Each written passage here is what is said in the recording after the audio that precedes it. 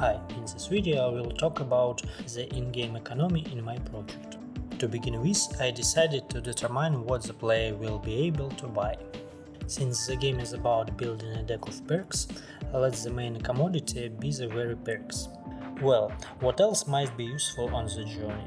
I decided that the player would be severely limited in health, so health uh, restoration might be desirable to acquire, and since health is limited, selling increases in maximum health could be an option. I thought this was a good idea.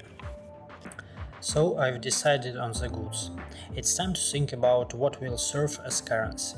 Firstly, it will be gold. It can be obtained by killing enemies, breaking items in rooms, as well as the reward for completing rooms. The second currency is perks. Since the player's slots for perks are limited, there needs to be a way to get rid of less useful ones, but throwing them away seems a bit of waste, so why not use them as payment for other perks or for increased maximum health?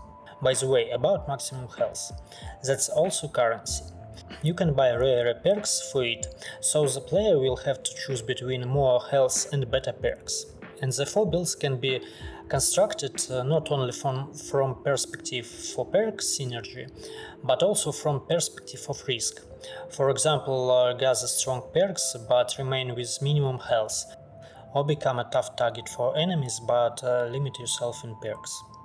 Now that the goods and currencies have been decided, it remains to implement the places where the player can trade. And I started with the biggest one, the merchant stall. In it the player can buy perks and I also plan to add the ability to restore health for gold. The prices for perks will be determined by their rarity. I'm currently working on an exchanger through which the player can exchange the existing perks for new perks or increase in maximum health. I wanted to make them look like a vending machine with cola, but my girlfriend said they look more like coffins, so they wait her decision.